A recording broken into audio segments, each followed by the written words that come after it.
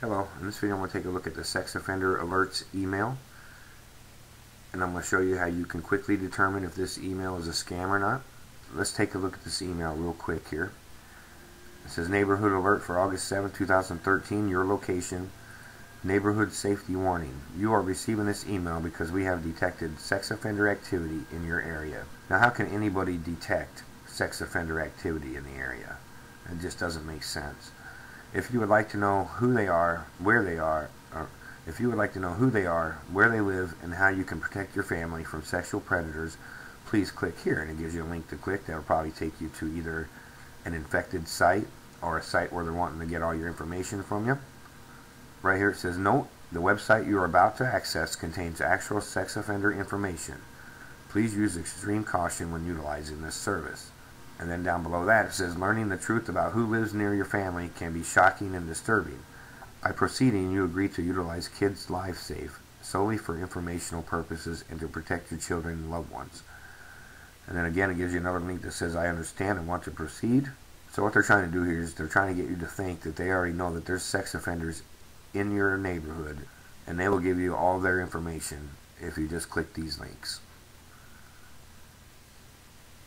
So I'm going to go up now and I'm going to go to the drop down menu here and I'm going to copy this domain. Let me tell you what this is real quick. It's called MakeMoneyMommies.com. Now does that sound anything like it would be a sex predator website? No. I'm going to copy this and then I'm going to Google it.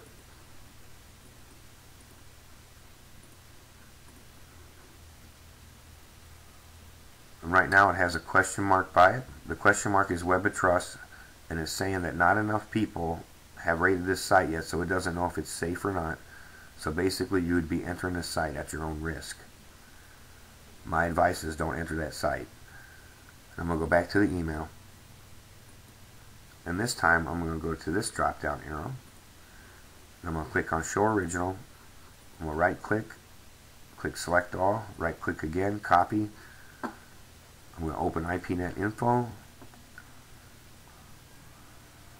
Paste what I just copied into the box. Click OK. So it started in California at the Google server, went to Ukraine, and then to California. And the Ukraine entry is your big heads up. One thing I want to mention is they could be using a program called Hide My Ass or something similar that would show that they're in a different location than they actually are. So after putting it through IPNet info, we definitely know that this email is a scam. It's coming out of Ukraine. Don't fall for this type of email. Use the tools I've shown you to research the email before you actually click on any links or images or anything like that. Thank you for watching. Have a great day.